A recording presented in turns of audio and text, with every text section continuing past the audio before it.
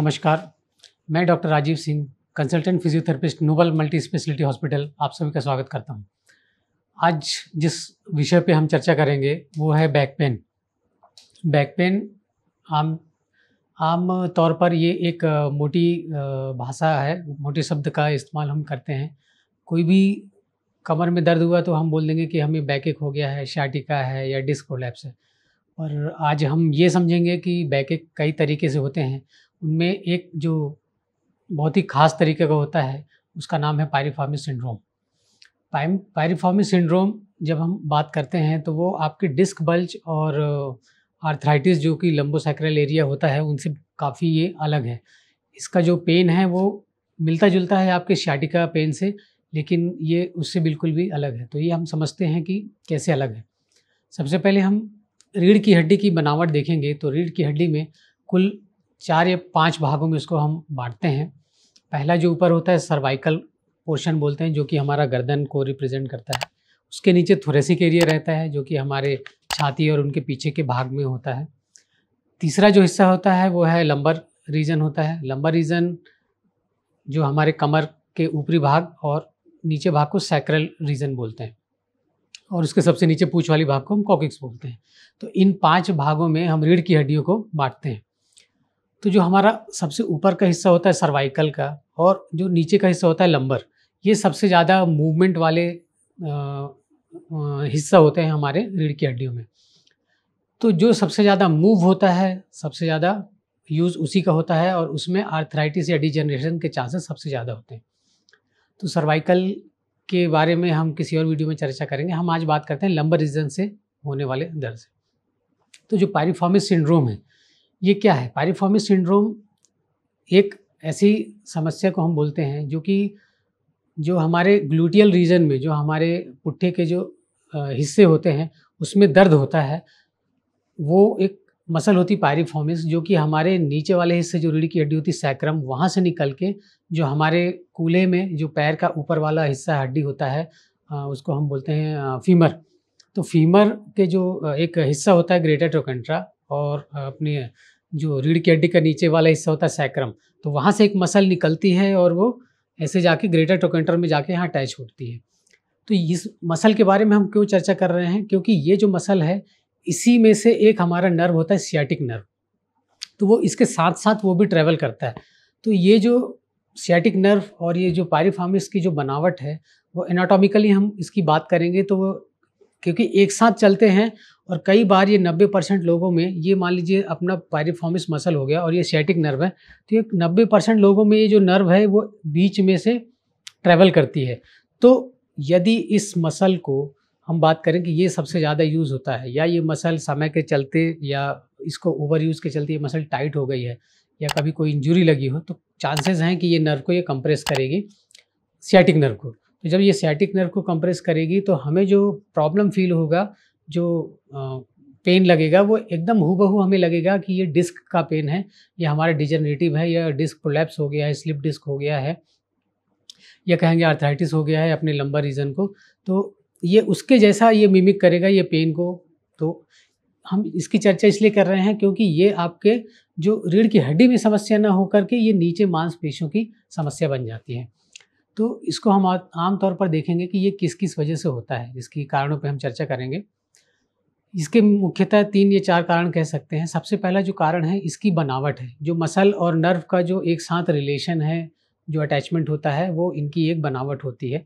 तो क्योंकि साथ साथ चलते हैं तो अगर एक मसल में इंजरी हो जाए तो वो नर्व को भी कंप्रेस करती है।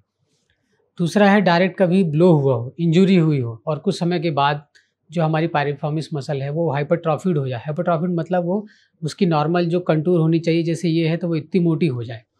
तो वो नसों में वो दबाव देने लगता है।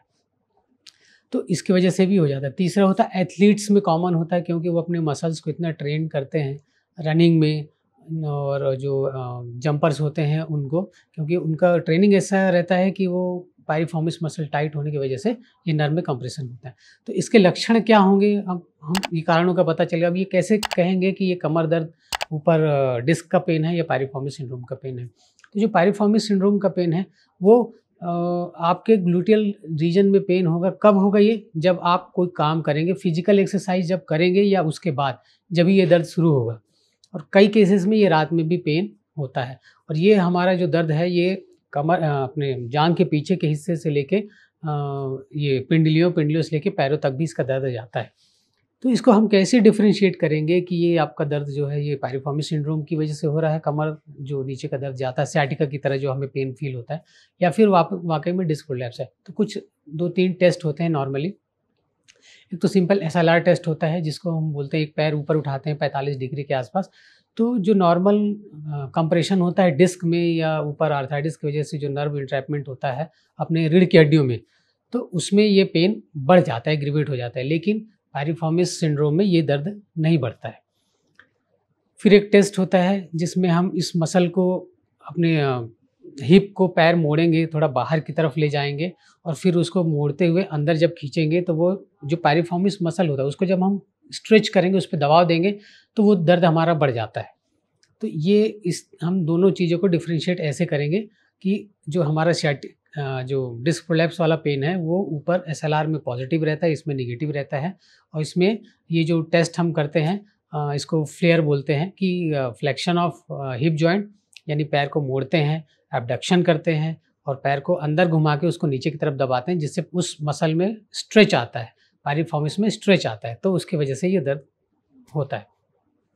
तो अब हम जो बात करेंगे फिजियोथेरेपी में कि फिजियोथेरेपी से हम इस पेन को कैसे कम कर सकते हैं या ठीक कर सकते हैं। तो फिजियोथेरेपी में हम जो सबसे ज़रूरी है वो इन तीस चीज़ों पे ध्यान देंगे कि सबसे पहले ये जो टाइट मसल पायरिफॉर्मिस हम उसको इस प्रॉपर स्ट्रेचिंग करेंगे अपने ग्लूटियल मसल के साथ। अब जो थाइस के हमारे पीछे की मसल होते हैं, जिसे हम ये हमारा हिप मसल होता है, उनको हम प्रॉपर स्ट्रेचिंग करेंगे।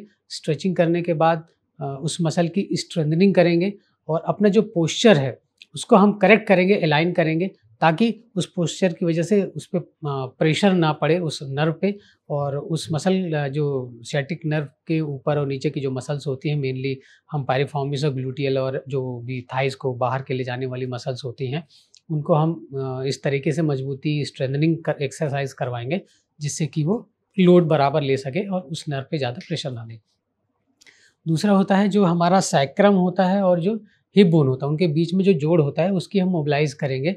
एस आई जॉइंट मोबिलाइजेशन बोलते हैं।